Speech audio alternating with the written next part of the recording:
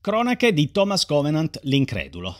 Insomma, un classicone del fantasy moderno eh, di cui dobbiamo assolutamente parlare, anche perché è uscita questa nuova edizione. Ok?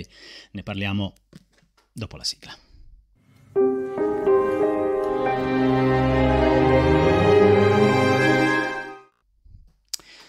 Allora, esce per i Draghi Mondadori questa nuova, questa nuova ristampa eh, delle cronache di Thomas Covenant l'Incredulo, della trilogia completa, la prima. Hm?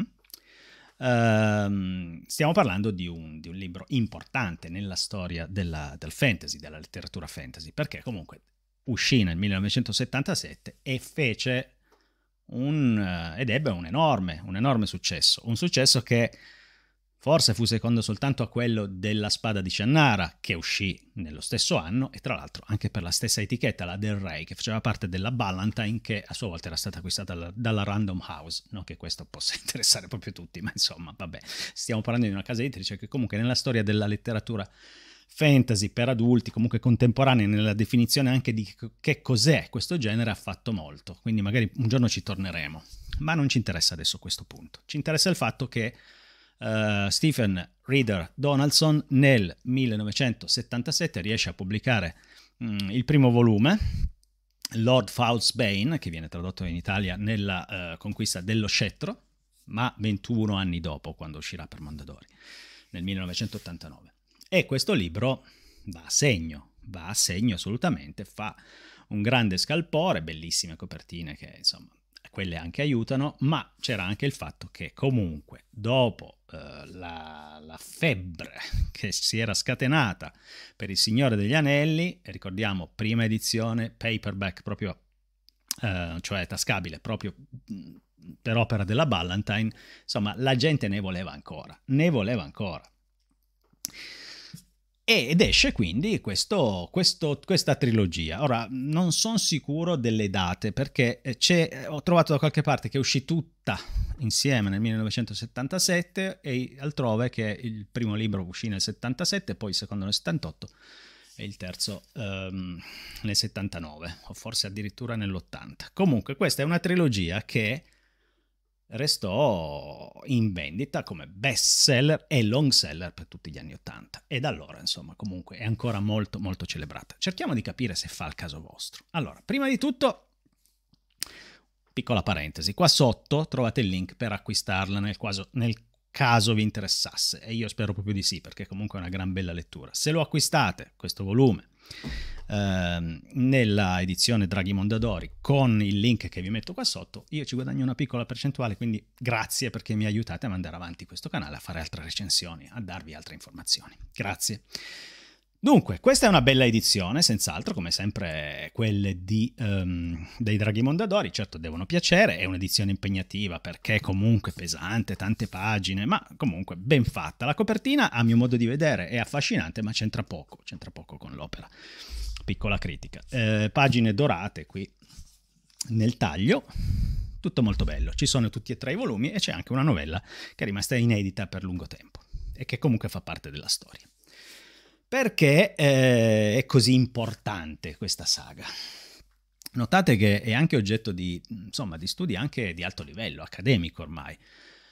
E non mi stupisce, perché comunque siamo di fronte a una storia raccontata eh, in maniera molto interessante che soprattutto ha al suo centro tutta una quantità di temi, di sottotesti, che non disturbano affatto la lettura perché ciò che più conta è che siamo di fronte a un'avventura del tutto tolkieniana, appassionante, eh, ambientata in un secondary world, un mondo secondario molto affascinante. Ci sono le figure archetipiche di questo tipo di, di storia, ma non banali, assolutamente non banali, raccontate con quelle variazioni sul tema che rendono comunque stimolante riassaporare un, un, un gusto che, che un cer- in un certo senso si conosce, ma comunque qui elaborato in maniera differente. La cosa che soprattutto salta agli occhi, ragazzi, è che qui abbiamo un protagonista che ancora oggi, ancora oggi risulta incredibilmente innovativo, incre- incredibilmente eh, stratificato, difficile da interpretare. Cioè, se fosse scritto oggi, secondo me,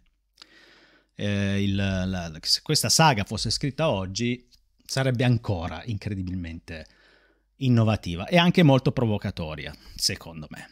Allora, intanto Thomas Covenant chi è? Thomas Covenant è uno scrittore famoso che ehm, contrae di colpo, senza ragione apparente, insomma, così come succede nella vita, una malattia terribile. Ma non è la solita malattia, no? Non è la solita malattia che oggi associamo alla parola brutto male, al termine brutto male, alla mm, locuzione, ecco. No, è la lebbra, signore e signori, la lebbra. Quest'uomo si prende la lebbra. Questo vuol dire che si decompone lentamente, deve fare molta attenzione a non ferirsi. Le sue terminazioni nervose muoiono, lui non avverte più, non ha più il senso del tatto nelle mani, nei piedi la sua vita crolla, si sfalda completamente, così come è destinato a sfaldarsi il suo organismo. Questo ha delle ripercussioni fisiche, psicologiche, emotive e sociali. La moglie lo lascia e si porta via il figlio. Non ha assolutamente intenzione di avere a che fare, di vivere nella stessa casa con un lebroso. Lui rimane solo ai confini di una cittadina dove nessuno lo vuole vedere perché la lebbra fa paura a tutti. Quest'uomo precipita in uno stato emotivo in una condizione psichica che è perfettamente, se volete, comprensibile, ma questo non, cioè quale? Un'amarezza, eh, una depressione, un'amarezza, un odio per se stesso, per il mondo, che è perfettamente comprensibile, ma ciò non significa che ce lo renda più simpatico, perché Thomas Covenant è una persona molto difficile da amare, ok? La sua sofferenza lo ha reso un individuo eh, anche sgradevole, ok? Parecchio sgradevole, ma non per la malattia, ma perché ormai è precipitato in un tale stato di amarezza e, se volete, di odio verso se stesso e gli altri, che gli è la vita, è la vita naturalmente, che tutto ciò che mm, esula dal, dalla concentrazione su se stesso e sulla sua malattia, ehm, non è più di suo interesse. Ecco, lui ormai sa che al centro della sua esistenza esiste solo la lebbra, ok? Ma il fatto di essere ormai un reietto, eh, di essere eh, obbligato a vivere lontano dagli altri esseri umani nella sua bella casa, ma comunque nella completa solitudine, lo porta poi a mh, mm, anche a ribellarsi. Cioè vuole tornare a volte fra gli esseri umani e quando lo fa tutti sono spaventati, nessuno nella sua cittadina lo vorrebbe vedere aggirarsi per le strade. Ed è lì, all'inizio del romanzo, che avviene un evento abbastanza inesplicabile nella sua semplicità, per cui lui viene a quanto pare investito dall'automobile di una della polizia e invece di risvegliarsi in una comune ambulanza si risveglia in un altro mondo, in questo mondo secondario, dove è stato evocato dalle forze del male, perché lui si presenti dai signori di questa terra, che si chiama proprio la Landa, in inglese land, perché si presenti dagli alti signori della Landa per annunciare proprio che il male sta tornando.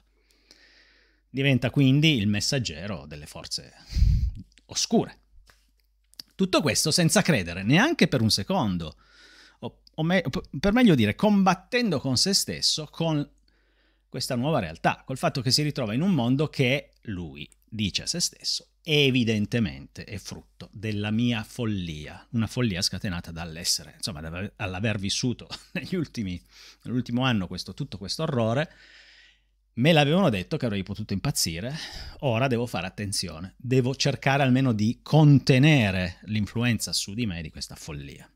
E quindi lui pensa per tutto il tempo è un sogno. Questo è solo un sogno, quindi non devo prenderlo sul serio, non devo credere a tutto quello che succede. E la sua reazione è sempre più o meno uh, di, di rabbia, di collera, di eh, malsopportazione, di fastidio, di, di, di... lui non vuole essere lì, non vuole vivere questa avventura che lo vede eh, eletto a figura, eh, a figura profetica, a figura quasi, beh direi quasi messianica, perché torniamo in un ambito molto classico e Thomas Covenant, se nel suo mondo è l'ultimo degli uomini, nella landa diventa il primo. Perché? Per una serie di circostanze che fanno sì che venga identificato come la reincarnazione, il ritorno di un eroe mitico di mille anni prima. Mm? Quello che sconfisse il male nell'ultima grande battaglia che ci fu, che non, è, non fu neanche la prima, perché questa landa è comunque ogni tot hm, flagellata dal ritorno di questo spregiatore. Ma per tutto il resto è il paradiso. ecco, eh, è assolutamente un luogo paradisiaco dove la natura è più che incontaminata, è vibrante. La primavera si avverte proprio fisicamente, l'energia della natura ti, si, ti pervade, ti fa sentire bene, tant'è vero che le, la condizione di Covenant eh, insomma muta nel tempo. Ora, non mi voglio fare spoiler, ma vi posso dire che sicuramente protagonista di tutta questa, di questa vicenda è anche la Landa, che comunque è un territorio, un mondo molto molto bello in cui avventurarsi, vi posso assicurare che vi ritroverete, se siete insomma sensibili a questo tipo di narrazioni, vi ritroverete a ripensarci alla Landa e anche a volerci ritornare. Quindi magari la sera vi metterete lì e direte, bene, adesso andiamo a farci un giro nella Landa. A me questo è, su- è successo. Così come mi è successo di essere molto partecipe delle gesta, di, o meglio, non, non sono neanche gesta, delle, degli accadimenti che coinvolgono Thomas Covenant, che è un personaggio in una trilogia che è assolutamente character driven, cioè proprio mm, imperniata intorno uh, più al personaggio che agli, all'avventura. Hm? E mi sono trovato molto partecipe della sua sorte, sue, del suo tormento, eh, della sua ormai inveterata incapacità di lasciarsi avvicinare dagli altri perché ormai lui è un lebroso, lui non deve essere toccato da nessuno, lui è stato abbandonato da tutti coloro che amava, ha perso tutto, ha perso se stesso e si ritrova in un mondo che è centomila volte più bello del nostro, perché è, appunto è un mondo eh, innanzitutto di natura incontaminata, natura magica, natura vibrante, natura più che viva. Mm? Um, e ricordiamoci che fu scritto nel 77, quindi quando ormai comunque il problema dell'inquinamento era molto, iniziava a essere molto molto sentito, ok? Quindi il tema ecologico sicuramente c'è, così come tanti altri, ma concentriamoci per adesso sul fatto che Thomas Covenant è un personaggio sofferente, è un personaggio che non vuole credere, infatti è l'incredulo, o si potrebbe dire anche il miscredente, non vuole credere a niente di quello che vede, a tutti questi prodigi, al fatto di essere considerato una persona importante. Chi io, che sono l'ultimo, sono il reietto, sono il lebroso, non è possibile. Um, ed è anche uno che compie delle azioni, e qui entriamo per un attimo, eh, diciamo in un aspetto che viene sempre comunque fuori quando si parla di questa trilogia. Attenzione, perché Thomas Covenant all'inizio di questa storia si macchia di un crimine terribile. Terribile, tant'è vero che quando ho letto quella parte lì io ho pensato, no, ma non è possibile. Non è possibile che il protagonista di una saga high fantasy così epica compia questo atto. Ora, va bene che è un uomo confuso, va bene che è un uomo che soffre, va bene che non capisce più niente, depresso, tutto quel che volete. Ma quello che fa è terribile. All'inizio, ok? Quindi sicuramente per alcuni, soprattutto data l'accentuata sensibilità, eh, se volete anche un po', appunto, eh, politically correct attuale, ecco, preparatevi, soprattutto se siete giovani, soprattutto se siete donne, soprattutto se siete particolarmente sensibili a certe cose, ve lo dico, preparatevi ad avere un piccolo shock, perché, o grande, che potrebbe anche indurvi a dire ma che è sta roba e a buttare via il libro. Sì, perché Thomas Covenant fa una cosa terribile. No, non ve la dico. Se non l'avete letto, non vi voglio togliere né la sorpresa né lo, lo stupore né lo shock. Ecco. Però sicuramente da quel momento in poi voi lo vedrete con occhi diversi. L'eletto, l'eroe, il salvatore è una merda. È un uomo assolutamente riprovevole. Da questo punto di vista non si può, eh, da questo aspetto non si può esulare, ok? Non possiamo far finta di niente. Ma io ritengo che qui ci sia il valore dell'opera. Nella capacità che ha avuto Donaldson di eh, portarci in un mondo secondario tolkieniano molto interessante, con tanti temi, sottotemi, stratificazioni di, se volete, metafore, ma comunque di temi. Ecco, lui è un narratore, non è un saggista. E nel contempo di mettere mezzo, in, al centro di tutto questo un uomo che è un uomo della contemporaneità, è un uomo come noi, forse peggiore della maggior parte di noi, ok? Che eh, in quanto reietto rappresenta proprio la nostra incompatibilità di esseri umani con la meraviglia, le, la certezza, la nobiltà di questo mondo fiabesco, di questo mondo in cui le certezze esistono, in cui il bene è chiaramente perseguibile, esiste, tu puoi fare, puoi seguire il bene e poi esiste anche il male, non ci sono dubbi da questo punto di vista. Ma lui è un uomo, Covenant, corrotto fisicamente, ma questa corruzione è anche quella un po' del suo spirito, perché è un uomo dei nostri tempi. I, un personaggio quindi molto difficile da seguire, mentre è molto facile ammirare tutti gli altri personaggi che lui incontra, che eh, sono molto affascinanti, sono, sono lodevoli, sono veramente nobili. E quindi ci sono guerrieri, ci sono maghi, ci sono, uh, diciamo, mh, mm, semplici paesani, persone uh, che vivono in una condizione rurale ma hanno un animo molto nobile, capaci di sacrificarsi per condurre questo covenant in questo incredulo alla sua destinazione. Il libro è un'enorme cerca, un enorme viaggio, ok? Non vi aspettate che ci siano sistemi magici alla Sanderson, tutti spiegati per bene, no, questo non avviene, c'è la magia e basta, ok?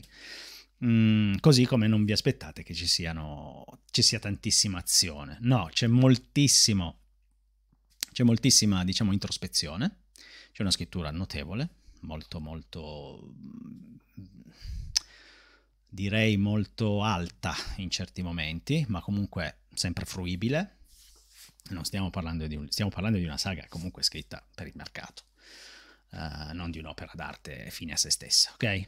Uh, e poi c'è molto world building, c'è molta descrizione del mondo, c'è, c'è, c'è, un ritmo molto, molto, a volte perfino lento, perché stiamo parlando di un fantasy di parecchi anni fa, ok? Parecchi anni fa non c'era la ricerca del, del, del ritmo, del, dell'essere avvincenti a tutti i costi. Ciò nonostante, se vi lascerete, se vi abbandonerete a questa narrazione, vi posso assicurare che almeno a me è successo veramente di provare emozioni molto, molto intense. Perché tutti più o meno siamo stati anche dei reietti, no? Tutti ci siamo sentiti dei lebrosi qualche volta nella vita, soli, uh, abbandonati da tutti quelli che amavamo. Può succedere. Magari a voi non è successo, a me sì, per esempio. Um, e quella sensazione lì, secondo me, è anche tipica anche un po' dell'adolescenza, no? Uh, sentirsi abbandonati, sentirsi dei lebrosi, socialmente inavvicinabili. Credo che, che, che quindi in alcuni momenti veramente Covenant ci rappresenti e sia raccontato molto bene. Sì, lui diventa una figura, stiamo sempre parlando del primo, del primo volume, eh? Lui combatte con se stesso e con la propria incredulità per tutto il libro. Ed è comunque eh, una persona tendenzialmente sgradevole. Non è lui l'eroe, lui è un antieroe completamente. Sono tutti i personaggi intorno a Covenant che sono eroici, che sono tolkieniani. Lui è uno di noi uno di noi che non ce la può fare e in più, e in più compie delle azioni, una in particolare appunto, orribile. Orribile. Um, si può dire che lui sia stato un po' Covenant, un po' un antesignano del, come personaggio del, del Grim Dark Fantasy, perché non, non, è possibile, non è possibile perdonarlo per certi versi. È una persona compie anche azioni orribili e, e malvagio e incredulo e debole e sempre arrabbiatissimo e ehm, sgarbato e maleducato, tratta male tutti, eppure viene aiutato, eppure viene aiutato da queste persone meravigliose che incontra sul suo cammino, perché la landa è tutto, è, tutto, è tutto ciò che il nostro mondo non è. Se nel nostro mondo la, rea- la realtà del male è diffusa fra tutti noi, perché siamo tutti, e buoni e malvagi, nella landa il male è tutto concentrato in un unico polo, in questa, diciamo, questa compagine del male, soprattutto nel Signore, nel, nel, nello spregiatore, e tutti gli altri invece, quelli che appaiono almeno in questo libro, sono, sono, sono le persone migliori che uno può solo sperare di incontrare nella vita. Questo è commovente comunque, no? Covenant invece viene dal nostro mondo, dove il male è diffuso e lui infatti lo, lo, lo trasporta, questo, lo, lo, veicola questo, nella landa. Si può dire che lui somigli di più allo spregiatore che ai suoi compagni d'avventura, che invece sono nobili, sono personaggi di appunto di un high fantasy. Le emozioni arrivano, le emozioni sono forti e comunque Donaldson riesce a farci amare questo questo Thomas Covenant, l'incredulo, che non possiamo che, che compatire, perfino quando, quando è veramente sgradevole, antipatico, ce le ha tutte, però è rimasto, è una icona della letteratura fantasy che merita la sua posizione nel, nella Hall of Fame, ecco, mettiamola così, assolutamente. Quindi io vi consiglio assolutamente di leggerlo, preparandovi anche al fatto che è, un, è, una, è una trilogia, è un modo di scrivere, è una saga che è uscita nel 77 secondo logiche diverse, logiche narrative diverse da quelle odierne. Non, non vi aspettate continui colpi di scena, non vi aspettate che sia sempre incalzante, ma se vorrete, le concederete a questa saga di, di, di, prendervi un po' alla volta, vi ritroverete appunto, come, come vi dicevo, a desiderare di tornare nella landa e vedere cosa succede e comunque respirare quell'aria, quell'aria lì magica e, e vibrante, vibrante di una natura pura, che c'è lì appunto in questo territorio, in questa landa. A voi la lettura, fatemi sapere se vi interessa leggerlo, se l'avete già letto, cosa ne pensate. Veramente mi piacerebbe attivare un po' una conversazione con voi qui sotto nei commenti perché secondo me le cronache di Thomas Covenant, l'incredulo, meriterebbero tanti approfondimenti. Sì, tanti. Un capitolo alla volta meriterebbe andare ad analizzare che cosa ha scritto, che cosa c'è, uh, che cosa ha scritto Donaldson, che cosa ha messo, quali temi potrebbero essere oggetto di profonda discussione. Davvero sono rimasto molto molto colpito. Grande. Ciao a tutti da Flavio Troisi di Broken Stories.